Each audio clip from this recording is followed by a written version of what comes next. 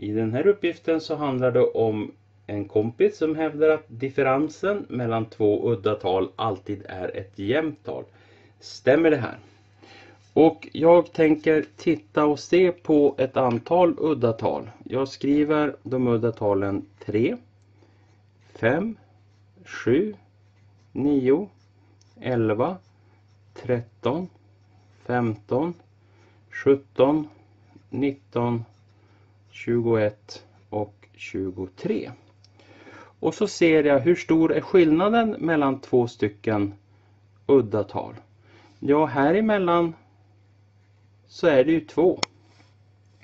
Här emellan så är det ju också 2. Och däremellan så är det 2. Om jag skulle se hur stor är skillnaden, differensen mellan 3 och 7. Så är ju den 4.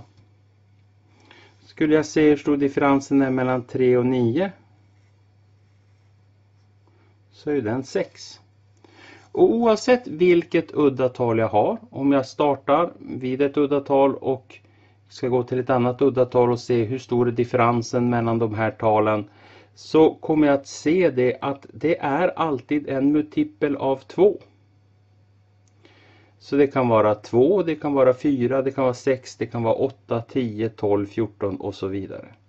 Så den här kompisen som hävdar att differ differensen mellan två udda tal alltid är ett jämnt tal har rätt. Svar.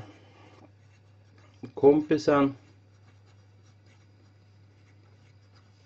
har rätt.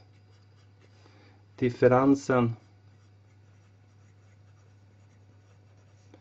är alltid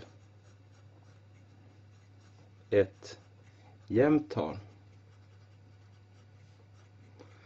Och ska man börja titta på talet så är det alltid en multipel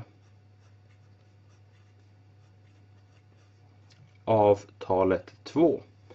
Det kan vara 2 multiplicerat med 2, 3 multiplicerat med 2, 4 multiplicerat med 2 och så vidare.